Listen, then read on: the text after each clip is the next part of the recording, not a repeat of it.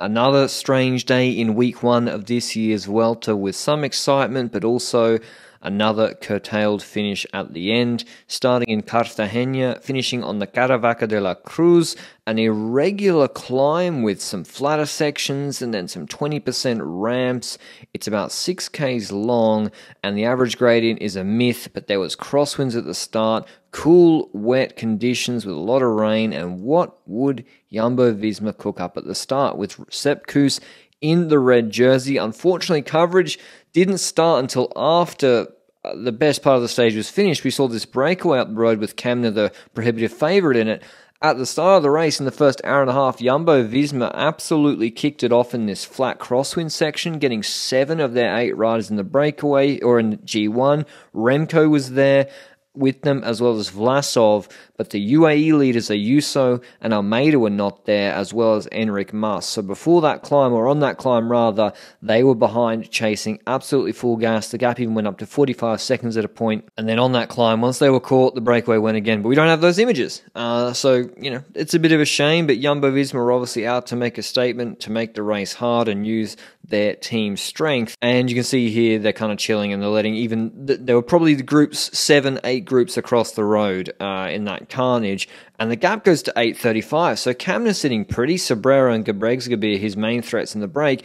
The peloton turns through this roundabout, changes direction again, starts to come down. You see it's gone down 30 seconds, then they turn right, and we can't see exactly who launches it, but you can see everyone sprinting out of the corner. Might have been Yumbo. I think it was Quickstep this time. They send it Nico Denz powering it away with Serry, Cattaneo. This time, pretty much all the top GC contenders do make it, and actually Jumbo Visma's, their three guys, Kuss, Vingegaard, Roglic make it, but no domestics apart from Valter. And so with Ayuso there, Master, Almeida, who all made it, as well as, yeah, pretty much every relevant guy except Brooks, but his teammate Vlasov is there. This one was really never going all the way because why would Remco put Serry and Cattaneo on the front to just pace the whole time to keep Lenny Martinez or Uijtdebroeks behind. And the same goes for UAE and the same goes for Jumbo. So after a while, even though the gap went to 130, you can see they're not really an echelon formation anymore. It's more of a straight tailwind, and the gap's down to 425 to the breakaway. So they're looking much more in danger, but the oh, G2 on the road pulls up stumps.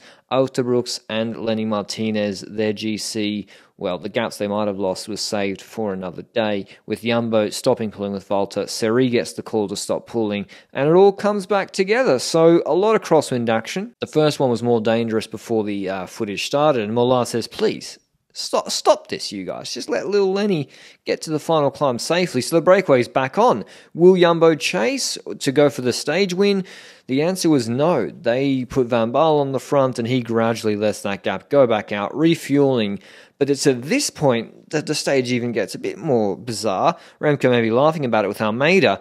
There was mud in the last 100 metres on the road in the finish, and so the organisers decided to take, and there was bit of inconsistent communication about this, but to take the GC times at the end of that 20% ramp with 2.05 Ks to go, but for the breakaway riders, they would still fight it out to the finish. So, like stage two, too dangerous for GC riders, but perfectly safe enough for breakaway riders. Doesn't really make sense to me, but yeah, that, that is what it is. So the GC was kind of nerfed. Um, we thought maybe it'd really kick off on the climb, but in the breakaway, Hamilton goes early on the 6% slopes. That would end up probably being a bit of a mistake uh, with Kämna saying, Sobrero, you close it. I don't have the legs. Gebreg's going to be there. Navarro, Barrenetxea were distance pretty early on the climb, as well as Caicedo, who came back a little bit. But you can see how undulating it is with the two Spanish guys just behind chasing. It's up and down this climb. And here, Kämna, Gebreg's going to be at Sobrero are probably the favourites for the stage.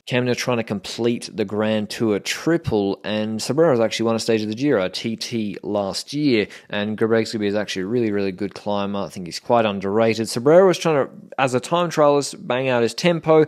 Movistar with Oliveira do the lead out into the base with Cattaneo setting a fierce pace, dropping all the Jumbo domestiques. And Kämna goes clear, drops Sobrero on actually a flatter section, gets the gap, and then he kind of holds it on the steep section and eventually just keeps opening it up. So it's a really difficult climb to pace correctly. And remember, he, they're going all the way to the finish Kämna and Sobrero in the breakaway. They're allowed to ride to the finish and contest a stage win.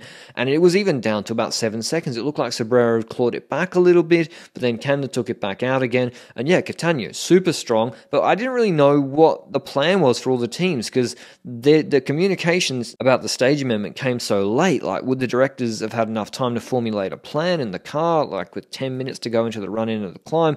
Almeida eventually attacks after Cattaneo pulls off, wanting to get some time, perhaps just wanting to keep the power consistent. Vlasov joins him, and the three Jumbos, they don't move. They don't move on the climb yet. They're waiting, they're waiting, maybe to see if Remco will pace. Of course, Vlasov and Almeida aren't their biggest concerns, but they're also not that far on GC either. But Remco eventually starts pacing with Vingegaard in the wheel, Roglic fourth wheel, about seven seconds behind them. Then Roglic launches over the top of Mas, and you see here Remco decides to close Roglic. He actually moves, does an acceleration, gaps Vingegaard, and he didn't really need to do it because Mas was on Roglic's wheel, maybe opening up a gap a little bit, but then Remco trying to close that gap blows himself up a little bit. And we we don't know, by the way, where the finish is. No one has any idea where the finish is. Like it all looks a little bit muddy. It's like a few cones on the side of the road.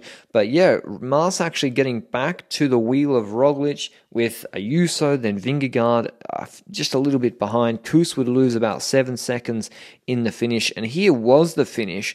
It was these two cones here was the 2.05 k's to go, and after initially putting all the riders on a gap of two seconds to Roglic, Ayuso, Vingegaard, they and Almeida and Vlasov, by the way, we didn't see in the heli shot. They took five seconds through that uh, barrier. Initially, they put all these guys on the same time because there was not a second gap between all five of those riders to Vingegaard. So then they stopped.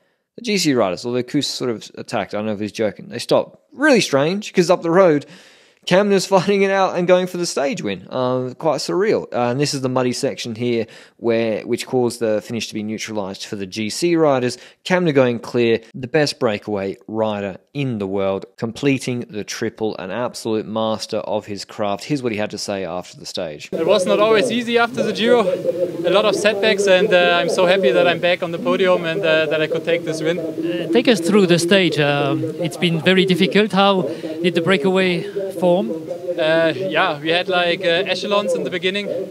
I tried to make it through the echelons as good as possible without like spending too much energy because I already saw it after 15k when everything split that we come together and at the climb again and then I was in front when the group went and I could just join with having like still a lot of my power in the tank and then uh, yeah in the end it was really tricky because uh, the climb is always like going up and down up and down and it was hard to find the moment to drop the others but I'm really happy that I could find it and that I took take the win. I've got no stage results for you or amended GC results because they kept changing them, so they didn't show them on the TV and they didn't. They only actually changed them about an hour ago uh, to put them all on the same time. So Kuss keeps red, Kämna beats Sobrero. Hope you enjoyed the video. and I'll see you with a TT recap on Tuesday. Ciao.